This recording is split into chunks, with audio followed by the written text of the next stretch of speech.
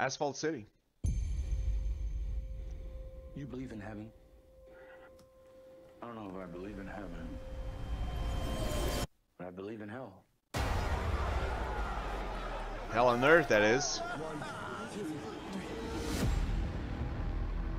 long you been on the job? A few weeks.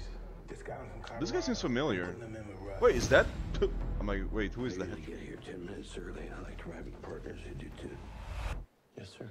This guy seems familiar. Tube me. He'll die if you don't tube me. Go, go, go. You think these people like you? Oh, is that where I have to like insert the tube in the person's uh, neck or some shit? You think you're saving people? I give you Interesting. about two weeks. What's going on? 30 year old female. She just gave birth. Took some heroin for the pain. Oh boy, How's the baby? Finished. Looks heavy, man. Thinking.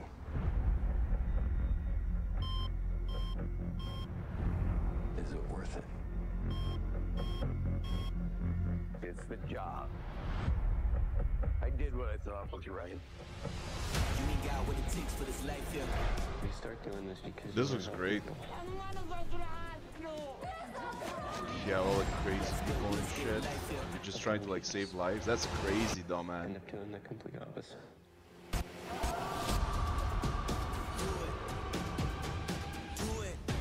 Tell the truth. Nah, I have no idea what this guy is. I don't know. Paramedic Rutkovsky. Intentionally withhold treatment. What am I doing?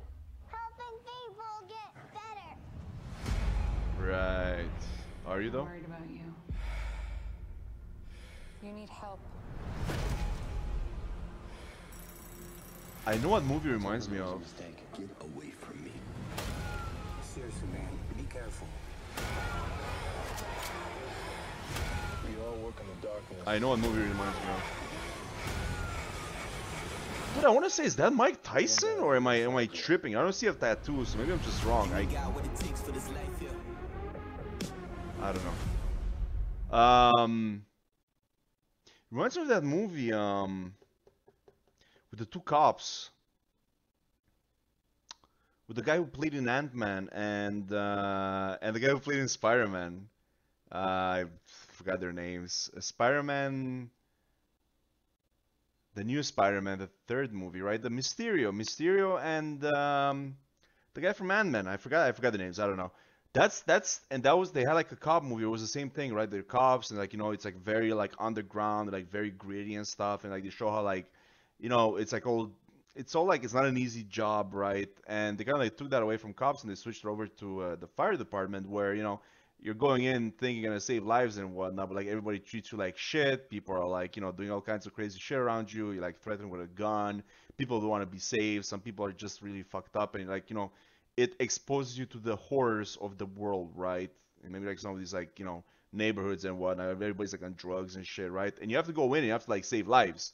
But everybody there is like fucked up and don't know what the hell is going on, right? So it looks like from the from the outside it looks like oh my god like you know you're such like a good person you're you're out there every day you know doing the best for humanity but in reality like you hate your job and you hate the people that you have to deal with and you hate what you're doing you know or anyways maybe not hate but like they're focusing a lot on the negatives you know i'm sure you feel really good when you save people but also like i'm i feel like you know they're focusing on the negatives for this one it's drama right um but yeah it looks very good um and i wish i knew what the um the name of the other movie was, but um, this looks good. Looks like hey, it is Mike Tyson.